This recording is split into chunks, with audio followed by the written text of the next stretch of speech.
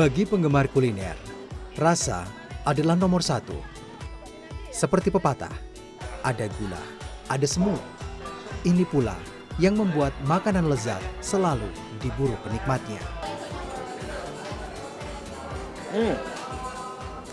Gelato jelas berbeda dengan es krim biasa karena gelato ini terasa lebih padat dengan rasa susu yang kuat. Sementara es krim biasa hanya krimnya saja yang rasanya kuat. Yang paling menarik perhatian adalah kenapa tempat ini kerap dipadati pembeli dikarenakan varian rasa gelato yang tersedia cukup unik seperti ada rasa kemangi dan juga ada rasa jahe. Hmm. Mantap.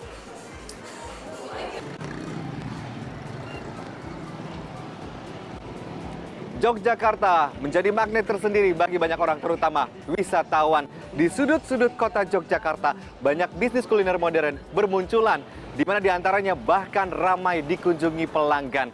Bukan hanya soal rasa dan juga harga, namun mereka punya alasan tersendiri mengapa mereka begitu ramai berburu kuliner di tempat-tempat ini. Salah satunya adalah popularitas si penyaji makanan dan minuman.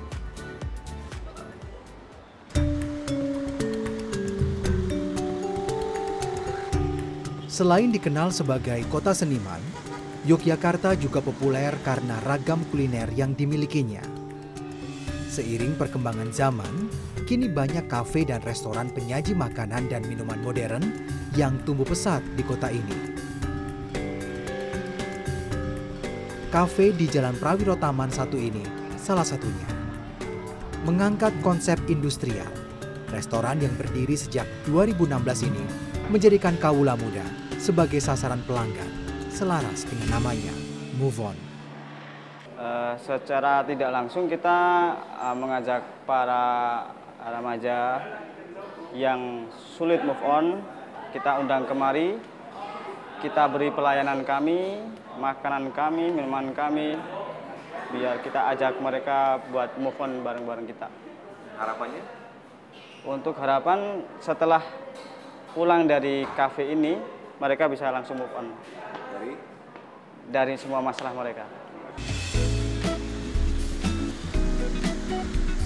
Tempat memang menjadi faktor penentu ramainya sebuah pusat kuliner. Pemilihan lokasi berbisnis kuliner menjadi hal penting yang perlu diperhatikan. Nah, persoalannya adalah pada konteks sebetulnya. Nah, Jogja memiliki beberapa konteks spasial yang berbeda-beda di Jogja Utara berbeda dengan tengah, berbeda dengan selatan gitu. Nah, untuk kafe untuk kuliner modern ini barangkali konteks Jogja Utara ini bisa uh, berhasil ya, bisa lebih uh, mengundang uh, konsumen gitu. Nah, cuma persoalannya tadi bahwa uh, kepadatan Jogja Utara ini sudah sangat tinggi. Ya, persoalan parkir menjadi masalah utama.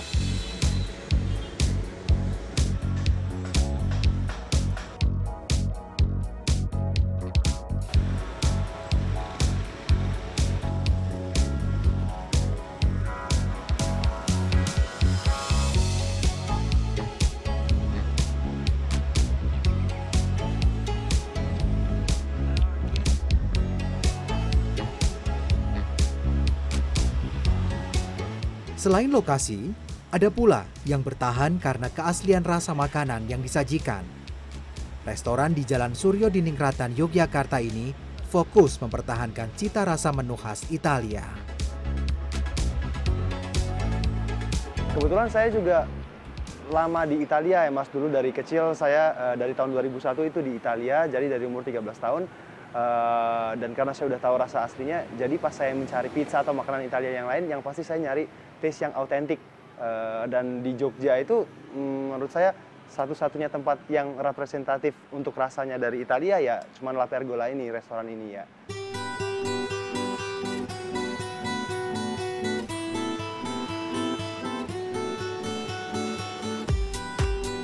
Pizza adalah menu utama restoran ini. Tak tanggung-tanggung, juru masaknya adalah orang Italia. Meski tergolong makanan cepat saji, namun memasak pizza tak boleh asal-asalan. Proses pemanggangan dilakukan dengan suhu antara 250 hingga 350 derajat Celcius.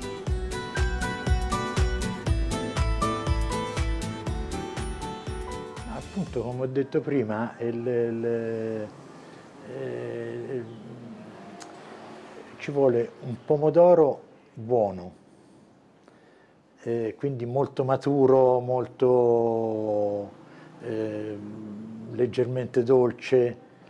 Eh, ci vuole la mozzarella che eh, purtroppo in eh, Indonesia non si trova la mozzarella di bufala, ma anche in Italia devo dire che la pizza normalmente si fa con, con la mozzarella normale, non con la mozzarella. Con la mozzarella di bufala è, è, è, più profumata, è più, è più buona, ma anche con la mozzarella normale. Il profumo dell'origano, il basilico e l'olio d'oliva. Questi elementi sono importanti.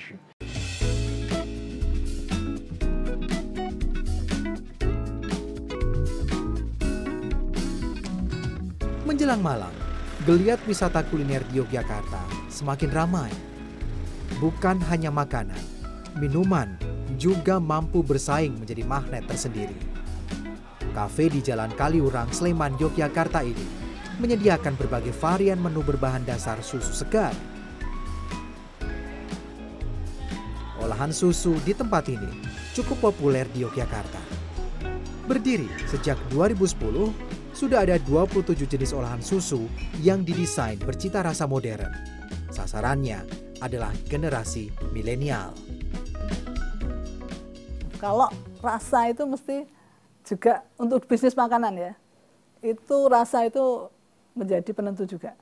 Jadi tidak hanya mereka tidak hanya memburu tadi keunikan, tapi pasti itu juga di adjust dengan rasa yang menurut mereka acceptable atau bisa diterima. Jadi tetapi memang sekarang trennya kan ada sesuatu yang baru, sesuatu yang unik. Ini dan dia ada ekspresi dari si konsumen ini terhadap uh, objek kulinernya itu.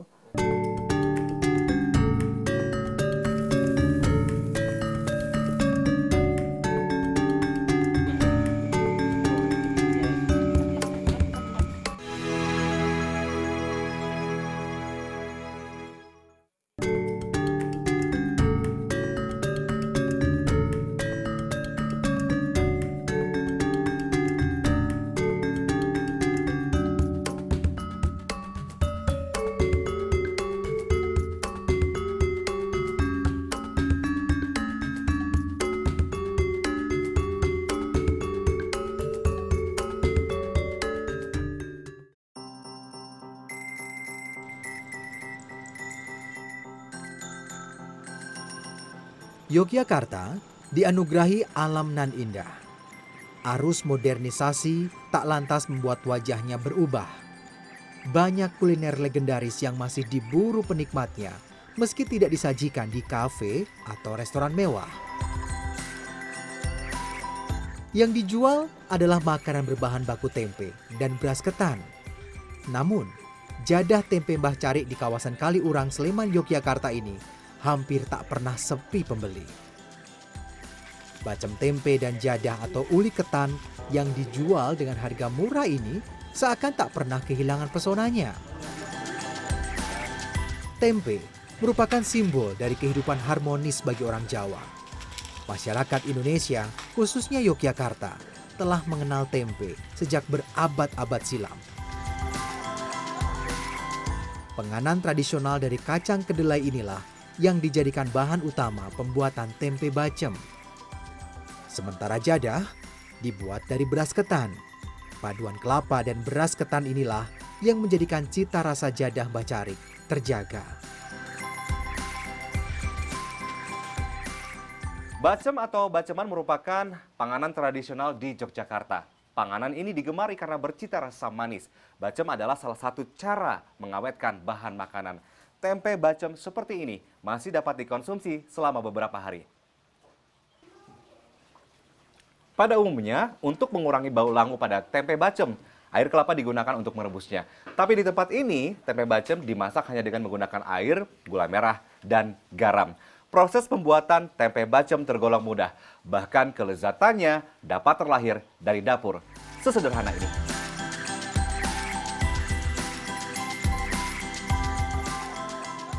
Cara tradisional inilah yang terus dilestarikan oleh pemilik jadah tempe Mbah Carik. Sejak didirikan tahun 50-an, cita rasa jadah tempe Mbah Carik tidak berubah. Kita memang masih mempertahankan untuk tradisionalnya, kita masih pakai kayu bakar dan untuk pembuatan jadah juga kita nggak uh, sedikit demi sedikit untuk menjaga uh, tetap baru, tetap fresh untuk jadahnya. Enggak, tapi kalau di sini memang itu untuk tempe lain Mas. Kalau di perkotaan kan tempe dibungkus pakai plastik, tapi kita masih pakai yang tradisional dibungkus pakai daun. Daun pisang itu.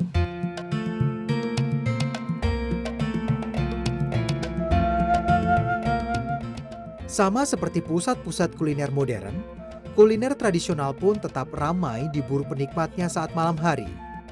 Sejumlah penjual makanan khas Yogyakarta bahkan membuka lapaknya menjelang malam. Sate Kelatak Pak Bari salah satunya. Berlokasi di pasar tradisional Wonokromo Bantul Yogyakarta, warung sate milik Sabari ini buka setiap pukul 7 malam. Seporsi sate kelatak berisi dua tusuk dapat dinikmati dengan merogoh kocek Rp20.000. Hanya berbumbu garam, Nyatanya, sate kelata ini menarik minat pembeli, bahkan wisatawan dari luar Yogyakarta. Uh, tahu aja dari teman, soalnya kan ini sempet dipakai buat bikin film juga ya kemarin, terus dicoba-coba enak, terus ya keren sih tempatnya, soalnya kan uh, apa ya dibanding sama yang lain kayaknya nggak tahu sih kayaknya ini yang lebih dikenal orang gitu. Sedikitnya, warung ini memerlukan 4 hingga 10 ekor kambing muda setiap hari. Sate Kelatak Pak Bari yang telah eksis sejak 1992 ini menggunakan jeruji besi. Inilah yang menjadi salah satu rahasia di balik kelezatan sate.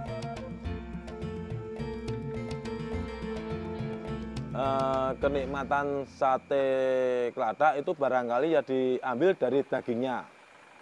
Tekstur daging itu bisa empuk, bisa enggak. Terus nanti si ngasih garam, ngasih garamnya itu merata apa enggak. Nah, kebanyakan apa enggak. Terus nanti teknik pembakaran. Teknik pembakaran itu nanti ada beberapa macam. Itu nanti daging terlalu apa itu namanya si nusukinya terlalu padat. Itu nanti mengakibatkan yang yang tengah-tengah itu kan kepenet. Jadi ya enggak itu enggak nanti matangnya bisa lama. Apalagi bisa enggak matang itu. Nah kalau dipanjangin gitu bisa matang cepat matang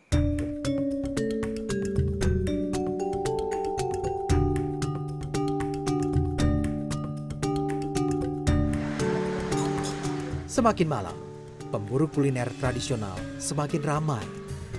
Bahkan di antaranya rela mengantre panjang sebelum penjualnya membuka lapak. Inilah Gudeg Bromo di Jalan Gejayan, pusat kota Yogyakarta. Gudeg Bromo merupakan salah satu kuliner legendaris sejak 1984. Pemiliknya, Suratinem, adalah generasi keempat yang mengelola gudeg ini. Dibantu delapan orang keluarganya, gudeg kaki lima ini setiap hari beroperasi mulai pukul 11 malam hingga 5 pagi. Seporsi gudeg dijual 10 hingga 40 ribu rupiah tergantung lauk yang dipilih pelanggan. Meski berlokasi di pinggir jalan, gudeg ini tetap laris manis.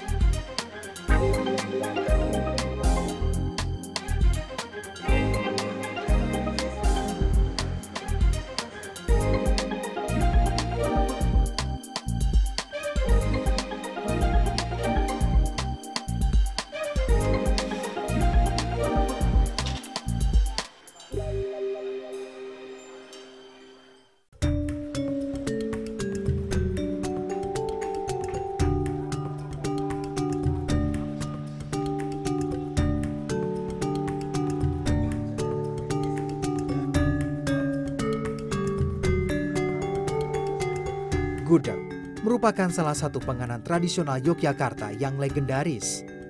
Berbahan baku nangka muda dan bercita rasa manis, gudeg bahkan menjadi salah satu ikon kuliner Nusantara. Untuk menjaga eksistensinya, pengembangan varian rasa dan tampilan gudeg kini terus dikembangkan. Sebuah produsen gudeg di Yogyakarta berinovasi mengemas gudeg dalam kaleng. Gudeg Kaleng Bucitro 1925 ini mulai populer pada 2011. Kini, gudeg kaleng semakin mempermudah setiap penikmatnya untuk dibawa sebagai buah tangan. Bagus banget.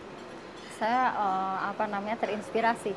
Ini bagus sekali ya. Soalnya kita kalau uh, ke Jogja, belum ke Jogja kalau nggak makan bapia, kalau nggak makan gudeg oleh-oleh untuk orang rasanya kepingin sekali bawa gudeg yang lezat itu bawa ke rumah atau bawa pulang untuk oleh-oleh. Tapi kan kadang-kadang kalau salah treatmentnya nanti basi, salah manasin dikit nanti basi. Ini betul-betul hebat, penemuannya hebat banget. Proses memasak gudeg kaleng sama dengan gudeg tanpa kemasan, termasuk resep dan bahannya. Hanya saja perlakuan bumbu gudeg kaleng lebih kuat. Kalau untuk yang di kaleng kita eh, penggunaan bumbunya lebih strong sedikit karena kan itu nanti eh, dengan proses pengalengan mungkin kan diperkirakan berkurang untuk rasanya sehingga untuk menutup kerangannya itu kita bikin lebih strong sedikit. Cuma itu aja.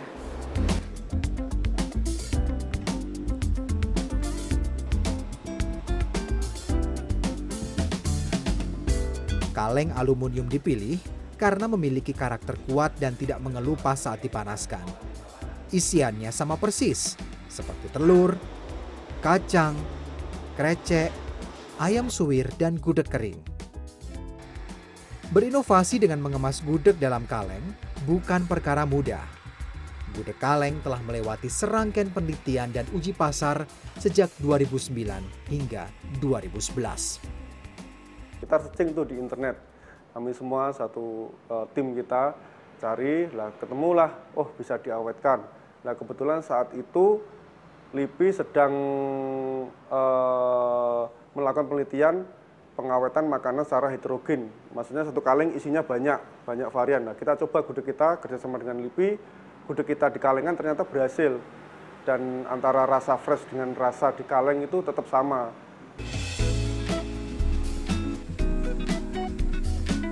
Agar tahan lama dan terhindar dari bakteri, gudeg kaleng menjalani proses sterilisasi melalui penghampaan dengan pemanasan hingga 95 derajat Celcius. Proses penghampaan ini dilakukan selama sekitar 45 menit dan hampir tidak ada jeda. Ketika selesai dilakukan penghampaan, maka kaleng langsung ditutup. Penghampaan ini dilakukan untuk mengurangi kadar oksigen di dalam kaleng. Kenapa demikian, Pak? Karena kenapa kok kita kurangi kadar oksigennya agar hmm, rasa gudeg kaleng bucitra ini tidak berubah dari aslinya. Hmm. Karena harus bagaimana rasanya, bagaimana teksturnya. Dan kalian ditutup harus dalam keadaan, keadaan panas. panas. Ya, agar bakteri kita nggak hidup kembali. Karena sudah melalui proses sterilisasi. Lagi. Nah, sterilisasi ini bukan uh, satu-satunya. Karena setelah ditutup, maka gudeg kaleng akan kembali dilakukan sterilisasi dengan menggunakan sebuah alat yang akan dipanaskan dalam suhu 120 derajat Celcius dengan tekanan satu setengah bar selama satu jam.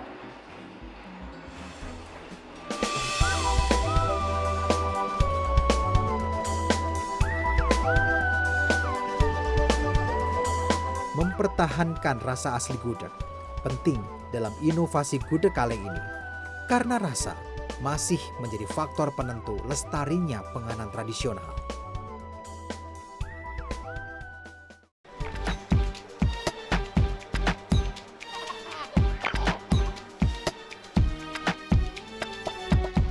Tak hanya gudeg, inovasi kuliner tradisional lain pun gencar dilakukan, termasuk bakpia. Varian rasa bakpia terus berkembang dari tahun ke tahun. Isiannya mulai dari kacang hijau, keju, coklat, kacang merah, ubi ungu, dan teh hijau. Sejarah mencatat green tea atau teh hijau digunakan oleh masyarakat di Tiongkok untuk pengobatan sejak berabad-abad silam. Penelitian tentang manfaat teh ini terus dikembangkan. Bahkan pada tahun 2004, komponen-komponen dalam teh hijau terbukti mampu menahan radikal bebas dalam tubuh. Tahun 2012 di Indonesia, teh hijau menjadi tren kuliner tersendiri. Banyak restoran menyajikan menu makanan dan minuman berbahan dasar teh hijau. Salah satunya menjadi isian panganan tradisional, bakpia. Oleh pembuatnya, teh hijau dicampur dengan bahan lainnya dan menjadi isian. Teh hijau inilah yang nantinya menjadikan sebuah bakpia bercita rasa khas.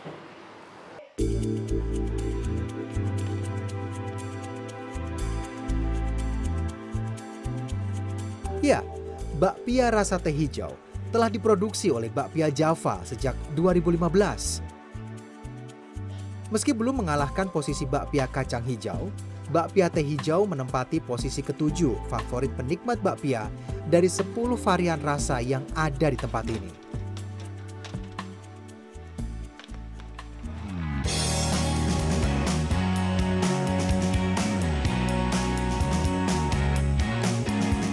Setiap hari, rata-rata seribu kotak bakpia aneka rasa terjual di toko ini.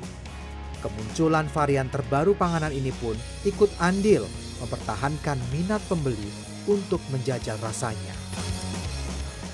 Dan hasil riset yang kami lakukan, itu makanan tradisional kita itu jauh lebih mudah diterima dibandingkan dengan misalkan makanan Korea. Orang kenal makanan Korea mungkin 50% 50-50 ya menerimanya itu 50-50. Dari 10 mungkin 5 menerima. Kita itu orang Korea sendiri yang menyampaikan 90% menerima. Kalau kita menyajikan makanan tradisional kita, itu orang asing yang belum kenal 90% menerima. Artinya itu kan sangat acceptable.